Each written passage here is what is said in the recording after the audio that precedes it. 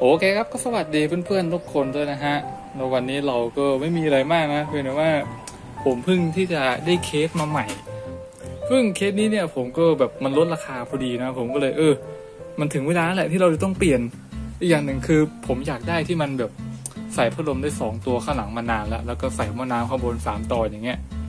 แต่ว่าถ้าเราจะมาซื้อเคสแล้วก็ใส่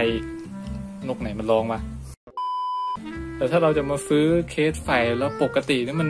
มันธรรมดาเกินไปนะผมเลยว่าเออจะมาดัดแปลงเคสเนี่ย ให้มันแบบมีทีม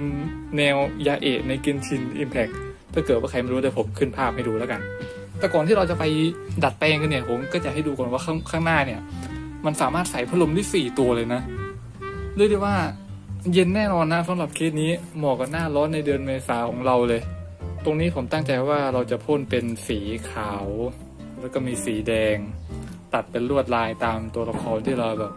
ตั้งใจจะออกแบบไว้เลยเอาเป็นว่าอย่างแรกเรา เรามาแกะแล้วก็เตรียมพ่นเคสกันดีกว่า อันนี้ตัวยึดมันก็เป็นเหมือนน็อตไม่ใช่ว่าน็อตดิคือเราสามารถใช้มือหมุนได้ไงตรงนี้ก็ต้องระวังนิดหนึ่งนะว่ามันเป็นกระจกด้วยแน่นอนว่าสีที่เราจะพ่นเนี่ยผมก็ได้เตรียมไว้เรียบร้อยแล้วนะ นของเรามันก็จะมีแดงขาวแล้วก็ทอง แล้วก็นี่ก็เล็กสีเป็นสำหรับติดเพื่อพ่นสีนั่นเอง โอเคมาอ่าข้างในก็จะหน้าตาแบบดีนะเขาทำมาให้ของดีๆ แล้วเราไม่ชอบว่าเราต้องดัดแปลง วางไว้ก่อน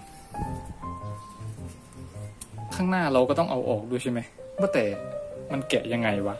ข้างในนี่ผมก็จะพ่นเป็นสีขาวหมดเลยนะ เออเดี๋ยวจะพ่นเป็นสีขาวเดี๋ยวแกะไอ้นี่ออกก่อนก็ดีเหมือนกัน แกะได้ไหมเนี่ย เออได้วะไอ้นี่เราไม่น่าจะเป็นต้องพ่นหรอกอีช่าโอเค มีอีกไหม หมดแล้วนะ โอ้ นี่แค่แกะมันก็เหนื่อยแล้ว เดี๋ยวเราเอากระจกข้างหลังออกด้วย มันมีกระจกสองด้านเลยอะอ่าข้างหลังก็จะประมาณนี้ มีช่องใส่สำหรับฮาร์ดดงฮาร์ดดิสก์ด้วย เอาออกมาก่อน โอเคอันนี้น่าจะเป็นพวกน็อตใช่ไหมเออ เป็นน็อตที่แบบสำหรับใส่พวกนี้แหละ วางไว้ก่อนแล้วกัน ส่วนตรงนี้เราก็ต้องแกะออกด้วยอุ้ย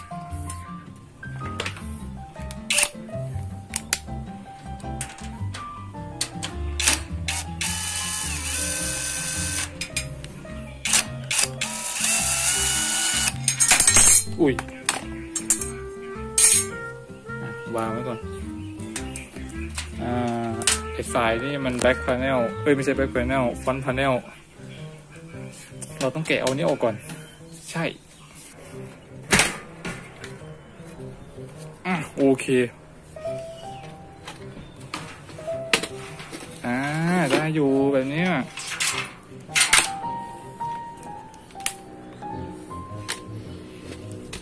ประเด็นเลยผมจะต้องทำลวดลายด้านข้างตรงนี้ด้วย เออ อาจจะต้องแก้เจ้าอันนี้ออกมาก่อนแล้วก็ค่อยมาพ่น เราจะเอาตรงนี้เป็นสีแดง ตรงนี้สีขาวดีไหม คิดว่านะ ตรงนี้สีแดงตรงนี้สีขาว โอเค ตอนนี้ก็น่าจะโล่งแล้วนะ เกือบลืมเอาอันนี้ออกด้วยแผ่นกรอง เดี๋ยวนะข้างล่างมันก็มี ข้างล่างมันก็มีใช่ไหมไม่มีว่ะ เฮ้ย เกินคาด คืออากาศเนี่ยก็น่าโพดมากนะ ตอนนี้เนี่ย เริ่มแรกในฝนมันตกผมคิดว่าเออว่าจะเลื่อนการทำหรือว่า อากาศมันดีแบบนี้เนี่ย ต้องต้องจัดสักหน่อยแล้วแหละโอเคอะปัดปัดสักหน่อย อันนี้เราต้องเอาออกไหมอะถ้ามันเอาออกมันก็ต้องโจเลย เอ้ยผมว่าผมไม่ต้องเอาออกแล้วผมพ่นอย่างนี้ไปเลยแล้วกันเนาะ แล้วก็ตรงนี้ก็ต้องพ่นด้วยเอาเป็นว่าเราพ่นสีขาวไปก่อน เคลือบไปก่อนทั้งทั้งหมดเลย อะ มาตรงเราต้องดูทิศทางลมนิดหนึ่งไหมเดี๋ยวมันเข้าตา เอาว่าผมขอเอาข้างบนก่อนเลย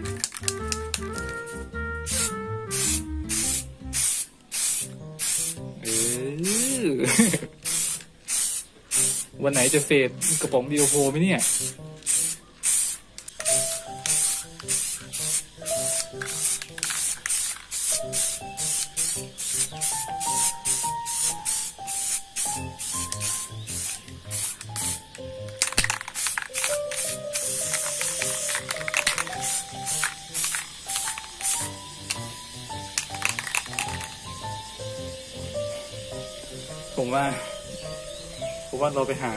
หน้ากงหน้ากากก่อนเดี๋ยวมา อะเราใส่หน้ากากเรียบร้อยแล้วพ่นมาตั้งนานไม่ได้ใส่หน้ากากนะ โอเคไปพ่นต่อดีกว่า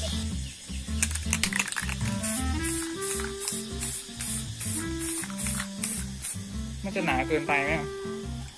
คุยไข่ไว้เนี่ยเออ ไม่ได้สตรีมก็หน่อย แต่ผมก็อยากให้มันแบบขาวแบบโพะไปเลยอะ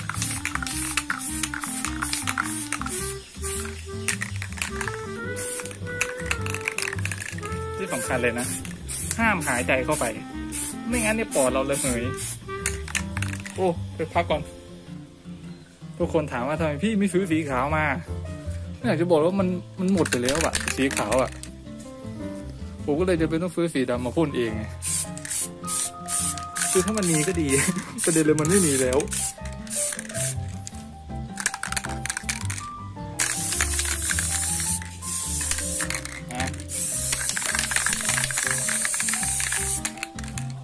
เดี๋ยวส่วนกระจกตรงนี้เนี่ยผมว่าเราจะปริ้นสติกเกอร์มาแล้วก็แบบแปะรูปเป็นลายไปเลย ดีไหมเออมันจะได้แบบสวยๆอะแบบตัวละครอยู่ประมาณสักตรงนี้แล้วก็ตรงนี้โชว์การ์ดจอ ตรงนี้แบบติดตัวหนังสือตัวละครนิดนึงก็โอเค พอได้แล้วน่าจะสวยขึ้นเยอะเลยเดี๋ยวเราเข้าไปดูงานสำเร็จก็ได้ถ้านึกภาพไม่ออกตรงนี้นี่คือผมว่าผมจะแกะเอาอันนี้ออกมาน่ะ เออ แกะนนี้ออกมาแล้วก็เอามาพ่นก่อน ประเด็นเลยมันต้องงัด งัดที่สองนี้ออกก่อนใช่ไหม น่าจะใช่แหละคุยใครวะ เออเป็นว่าขอขอเวลาแกะก่อนแล้วกัน น่าจะแกะไม่ยากนะ ดูจากทรงแล้ว ชิ้นที่สองกำลังจะออก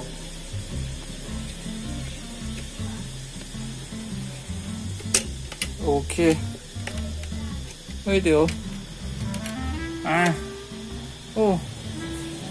ดี๋ยวเราไปพ่นก่อนแล้วกันเนาะตรงนี้เนี่ยผมต้องหาอะไรปิดกระจกไว้ด้วยไม่งั้นเดี๋ยวตอนเราพ่นไปเนี่ย ไปถูกกระจกนี่คืองานงอกเลยนะหรือได้ไปตัดกระจกใหม่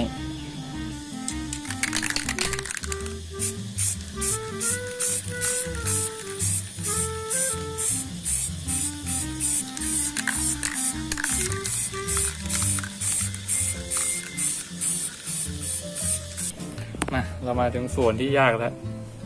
คือตรงนี้เนี่ยเราจะต้องทำเป็นลายเดี๋ยวผมจะขึ้นภาพให้ดูนะ ซึ่งผมจะใช้ลือกฟีนเนี่ยติด แล้วก็เอาสีแดงเนี่ยพ่นอีกทีหนึ่ง เราจะเว้นช่องสีขาวไว้นั่นเอง เพราะงั้นเนี่ยก็คิดว่ามันจะผ่านไปอย่างราบรื่นโดยที่ผมไม่ต้องมานั่งพ่นสีขาวใหม่นะ ทีนี้เนี่ยผมอยากให้ตรงนี้มันเป็นสีแดงนะ ผมก็เลยกล่าวว่าจะใช้เนี่ยปิดตรงนี้ไว้ แล้วก็ปิดข้างบนส่วนตรงนี้ไว้ แล้วเราก็ค่อยพ่นเอาตรงไหนสีแดงอีกว่าจะเอาตรงพัดลม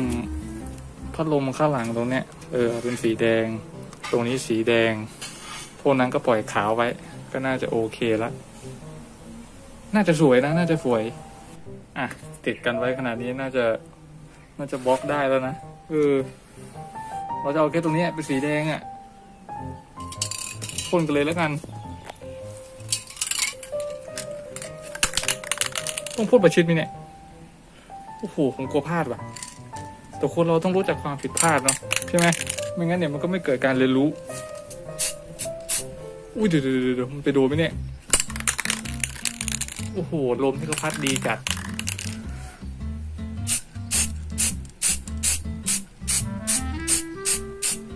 โอเค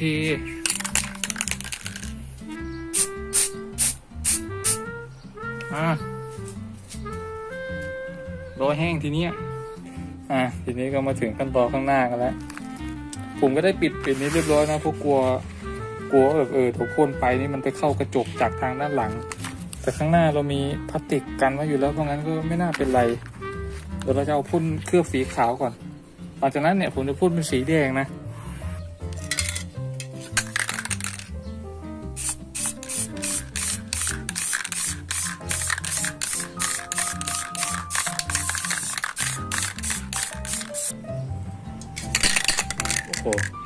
จะหมดจริงว่ะ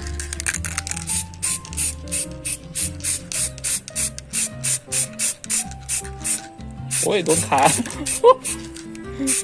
ถ้าอยากขาขาวต้องใช้วิธีนี้นะ โอ้โห โอเค เรียบร้อย เดี๋ยวรอมันแห้งแล้วเราค่อยมาลอกออกแล้วกันเนาะ อันนี้เรานี่ก็น่าจะแห้งเรียบร้อยแล้ว งั้นผมจะลอกก่อนแล้วกัน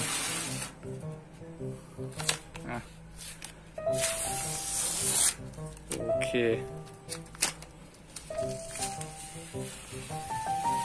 เออ พอได้อยู่โวทำเป็นเล่น เฮ้ย เดี๋ยว โอ้โห หลุดรอดเฉย อะไรอยู่วะผู้สาวว่าแบบเนี้ยบแล้วนะ อะ นี่ขยะเลย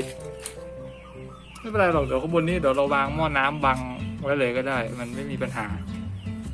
เอาไปว่าโอเคได้แถบหนึ่งแล้วจริงๆผมก็ทำแบบนี้อีกหลายแถบเลยนะ ข้างหลังตรงนู้นก็ต้องทำด้วย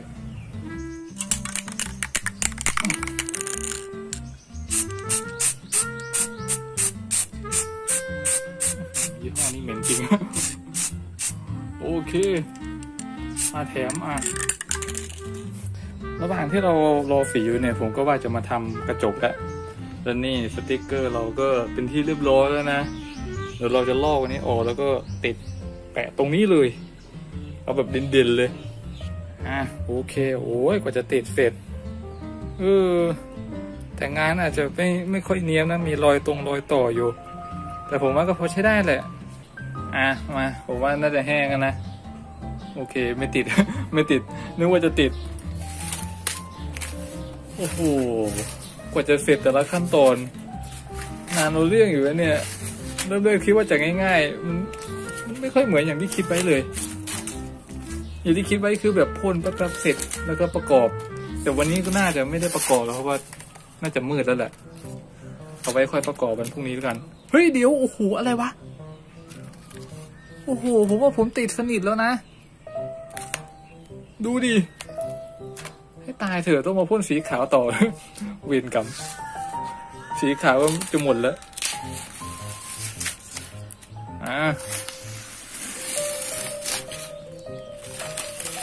โอเค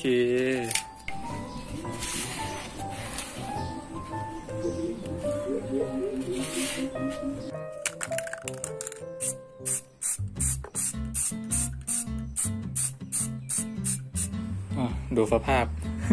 ยังไม่ถึงไหนเลยเรียกว่าเละเทะให้เละเคกะไปหมด แต่ผมกะว่าวันนี้คงจะไม่ทันจริงๆอะเออเพราะมันเริ่มค่ำแล้วเพราะงั้นเนี่ยพรุ่งนี้อาจจะต้องค่อยมาต่อกันแล้วกันเดี๋ยวพักก่อน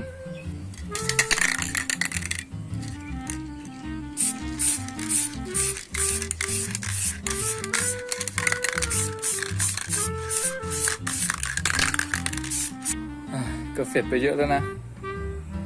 เอาไปนว่าเดี๋ยวเรามาลอกกันออกดีกว่า อันนี้ผมก็ปิดแบบกันกระจกไว้เลย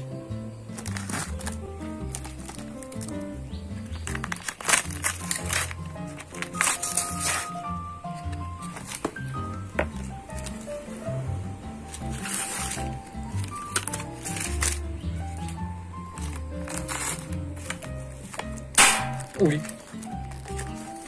ผมเริ่มเข้าใจคนที่เขาแบบ ทำคลิปคนเดียว คือถ่ายมือหนึ่งอีกมือหนึ่งทำงานเนี่ยมันโคตรยากเลย เออ เอาเป็นว่าถ้าเราจะทำคลิปแบบนี้เนี่ย คงจะต้องมีอุปกรณ์อุปกรณ์เพิ่มมาแหละไม่งั้นเนี่ยไม่ไหวว่ะ มือจงมือจับก็ไม่มี โอเค นี่ยูไอบงยูไอบีผมก็แบบแปะกันไว้ก่อน อะ เฮ้ยสวยอยู่นะทำเป็นเล่น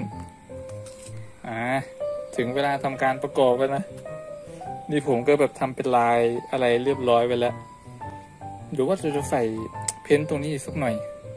ผมว่าถ้าเพ้นท์ตรงเนี้ยน่าจะสวยได้เลยนะ ก่อนก่อนที่เราจะใส่เข้าไปเนี่ยอ่าเราติดตั้งสัญลักษณ์ยาเอเรียบร้อย กว่าจะเสร็จแต่ละอย่าง โอ้โห มืดค่ำกันพอดี อะได้เวลาประกอบแล้ว จริงตัวนี้เราน่าจะเอาสีอื่นว่ะ แต่ผมก็ลืมคิดอะแต่ช่างมันเถอะทำมาขนาดนี้แล้วเออ อะ โอเคเรียบร้อย สวยงาม ก็ก็พอใช้ได้นะสำหรับฝีมืออย่างผมเนี่ย เออทั้งสองข้างเลย โอเค ถ้าประกอบเข้าเนี่ยน่าจะสวยกว่านี้เดี๋ยวเปิดฟงเปิดไฟเดี๋ยวเราเปลี่ยนไฟเป็นสีชมพูด้วย ผมว่าจะน่ารักเลย โอเคฮะเคสที่เราประกอบตอนนี้ก็เรียกได้ว่าเสร็จเรียบร้อยแล้วเออก็อะตามที่เห็นนี่แหละเดี๋ยวพัดลมเราค่อยมาติดพวงเครื่องอะไรก็ค่อยเอามาใส่แล้วกัน แต่หลักก็ประมาณนี้แหละนี่แล้วแล้วนี่ก็ถึงเวลาที่เราจะต้องย้ายของจากเคสเก่าเนี่ยมาเคสใหม่ ซึ่งก็ผมว่าต้องใช้ระยะเวลาประมาณนิดหนึ่งเลยแหละอีกอย่างหนึ่งผมยังคิดอยู่ว่าเราจะติดสติกเกอร์เพิ่มไหม หรือว่าข้างหน้าเนี่ยเราจะใส่ตรงนี้เพิ่มดีวะ แต่ดูจากเคสเก่าเคสใหม่แล้วเนี่ย มันสูงต่างกัน เยอะเอาเรื่องเหมือนกันอยู่นะเนี่ย ประมาณกี่เซนวะสักสิบเซนได้นะประมาณเนี้ยแต่ผมก็คิดอยู่นะว่าข้างบนมันดูดูโล่งๆไปหน่อย อยากจะทำลายตรงนี้สักหน่อยเพิ่มดีไหมเป็นสีแดงเหรอถ้าเราพ่นยาวมันนี่ใช่ไหม เออแต่ผมว่าผมปล่อยขาวไว้แต่ดีแล้วเออปล่อยไว้ก่อน บางทีเราอาจจะต้องโมชุดหม้อน้ำมาใส่ข้างบนนี้ด้วย แล้วอาจจะต้องเจาะตรงนี้อีก ดูสภาพการ์ดจอกับเฟลการ์ดเหมือนผ่านฝึกมาเยอะมากเลย ตัวนี้ที่ผมใช้มานานมากเลยนะอีกอีกคราวนั้นที่เราจำคลิปคือ ก็นึกว่ามันจะพังมันก็ไม่พังมันก็อยู่มาได้นาน อันนี้เราก็ตัวที่ไว้ใช้สำหรับสตรีม สอการเราก็ยังคงอยู่อะเหมือนเดิมผมพวกชอบแบบฟังเพลงแบบหนักๆพวกนั้นเนี่ยจะเป็นเลย ถ้าพังก็ต้องรีบหาซื้อ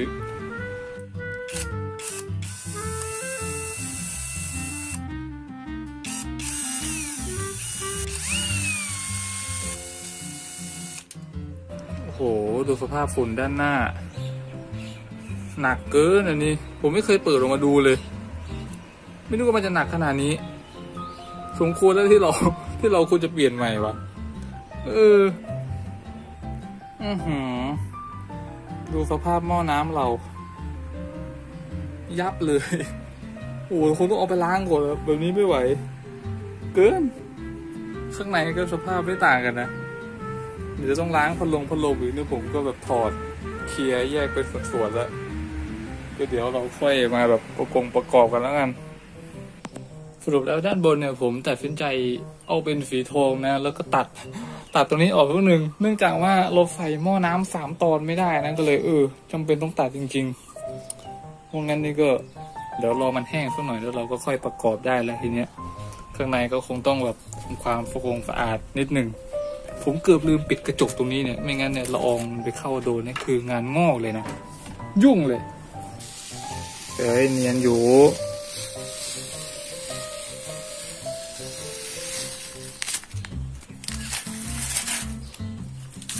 โอเค อันนี้ก็คงจะต้องหาทางแบบเจียร์ดัดมันสักนิดหนึ่งก่อนที่จะใส่หม้อน้ำอะหลักๆแล้วสีก็ประมาณนี้แหละ เออ ข้างบนสีทอง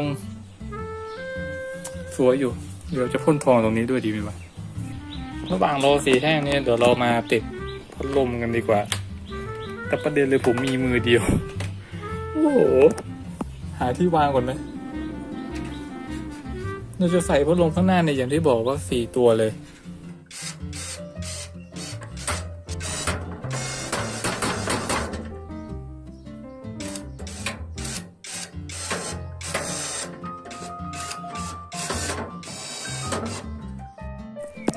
อ่าโอเค ทีนี้เราก็ได้พัดลมข้างหน้าสี่ตัวเรียบร้อยแล้ว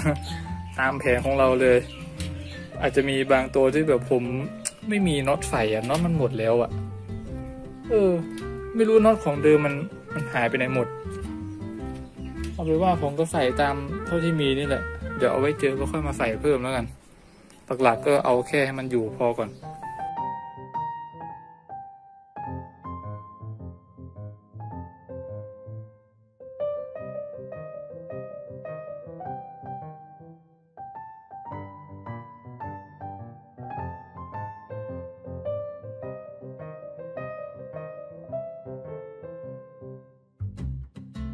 เคจ่ายให้ผมมาก่อนแล้วแบบน็อตมันไม่พอจริงๆนะ ผมก็เลยได้ไปเดินหามาจนกระทั่งไปเจอกล่องนี่เลย ที่เราแบบเคยใช้ประกอบครั้งแรกแล้วน็อตมันเพียบเลยนะเรียกได้ว่าทีเนี้ยเหลือเฟือแล้ว ไม่น่ามีปัญหาแล้วแหละมาแล้วผมมาใส่เพิ่มข้างหน้าด้วย ที่ที่เรายังไม่ได้ใส่ใช่ไหมข้างหลังนี้แน่นอนว่าเราจะต้องเอาเป่าออกนะเพราะงั้นก็หันพัดลมให้ถูกทางแล้วกัน เคเอาประมาณนี้ เดี๋ยวทรงสายอะไรเราค่อยไปเก็บที่หลัง ตอนนี้ขอใส่พัดลมให้มันแบบครบแล้วก็ถูกทางก่อน ขอเวลาใส่พัดลมแป๊บหนึ่ง มีอยู่มือเดียว ทุกคนอาจจะงงว่าผมใช้มือไหนจับกล้อง ไม่อยากจะบอกเลย แม่งกูใช้ขาอยู่ ใช้ขาจับกล้องแล้วสองมือก็ต้องมาทำอันเนี้ยโอ้โหเรียกได้ว่าแบบ โคตรสู้ชีวิต โอเค อะ เหลืออีก อันนี้ ใส่ให้หมดเลย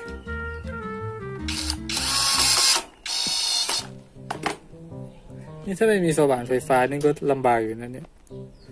ก็ต้องมานั่งขันทีละอันทีละอันนี่ก็ไม่ไหวว่ะ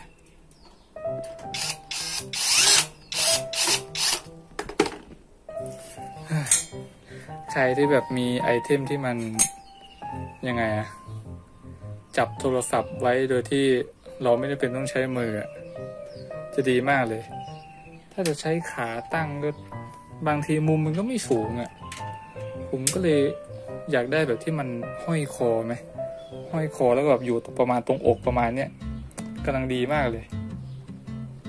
อะอันสุดท้าย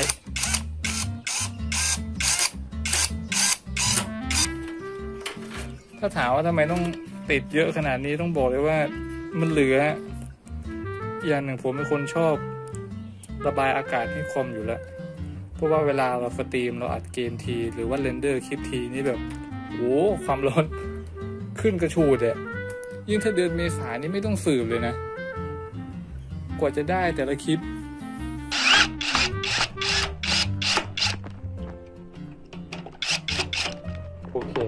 เอาเล็กน็อตอีกตัวหนึ่งไปไหนวะ What the hell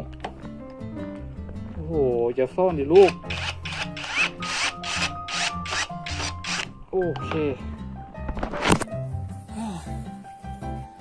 เสร็จ ก็เดี๋ยวเราค่อยเดินสายไปไว้ข้างหลังแล้วกันเดี๋ยวเรามาติดพัดลมกับหม้อน้ำนี่ให้มันเรียบร้อยก่อนอะโอเค ใส่เสร็จเรียบร้อย ถ้าหลังสองตามสูตรแล้วก็ข้างบนสามคือเราจะเป่าลมร้อนเนี่ยออกไปข้างนอกนะแล้วก็เอาลมเย็นเนี่ยสี่ตัวเนี่ยเข้ามาข้างใน ก็หวังว่ามันจะเย็นขึ้นแล้วกันเนาะเดี๋ยวเรามาจัดทรงจัดสายซ่อนไปข้างหลังก่อน เพราะว่าก็น่าจะใกล้เสร็จแบบเร็วๆนี้แล้วแหละไม่น่ามีอะไรยากแล้วเดี๋ยวผมจะไปเดินระบบไฟ RGB ก่อนนี่ไง มันจะมีเป็นเขาเรียกว่าอะไรวะกล่อง เหมือนเป็นกล่องควบคุมนะว่าเราจะต้องเชื่อมไฟทั้งหมดเนี่ย เข้าด้วยกันกับไอ้กล่องเนี่ย ซึ่งสายแพรเราก็มีอยู่แล้วนี่ไงเดี๋ยวเราก็ทำตามคู่มือมันก็ไม่ยากนะเดี๋ยวซ่อนทรงซ่อนสายข้างหลังอีกไปลุยกันเลย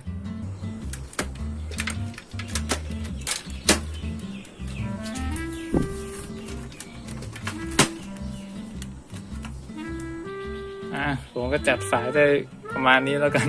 เออ เรื่องของระบบไฟ เดี๋ยวเราเอา power supply ใส่ก่อนดีกว่า เพราะว่าเดี๋ยวฝนจะตกแล้วเนี่ย ตอนนี้ฟ้าครึ้มมากเลย power supply ผมเนี่ยก็ใช้มานานอยู่เหมือนกันนะ ประมาณ 2 ปีเลย แต่ตัวที่ใช้นานที่สุดคือ XFX 750 วัตต์นี่แหละ แต่ตัวนี้ก็ ก็โอเคนะ ของ s y m p h o n i c เป็น 850 ก็พอเพียงแน่นอนนะสำหรับ 2 การ์ดจอเนี่ย เดี๋ยวผมต้องพยายาม ยัดไฟเข้าไปตรงนี้แล้วเราก็จะเก็บสายบริเวณนี้ เออ ตรงนี้ก็วางพวกฮาร์ดดิสก์ SSD M2 ก็ไว้ข้างในแล้วกัน อะ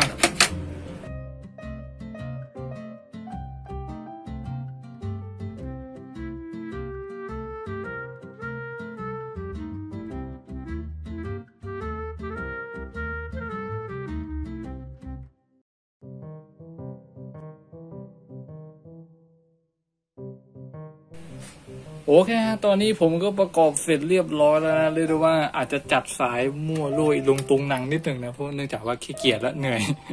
เออเดี๋ยวจะต้องไปตัดตรงตัดต่ออยู่เพราะงั้นนี่ก็เดี๋ยวปล่อยปล่อยไว้แบบนี้แหละเดี๋ยวมีอารมณ์เดี๋ยวค่อยมาเดินฟงเดินสายใหม่แล้วกัน ข้างหน้าเราก็ใส่อุปกรณ์ต่างๆ เรียบร้อยหมดแล้วนะ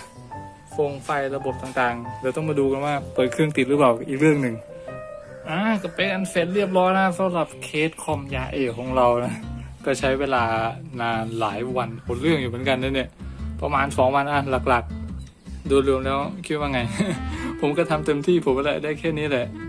อะโอเคก็ขอบคุณเพื่อนๆที่รับชมกันด้วยนะครับถ้าว่าชอบยังไงเนี่ยช่วยฝากกดไลค์กดแชร์กด subscribe กดกระดิ่งแจ้งเตือนเป็นกำลังใจให้ผมด้วยนะครับ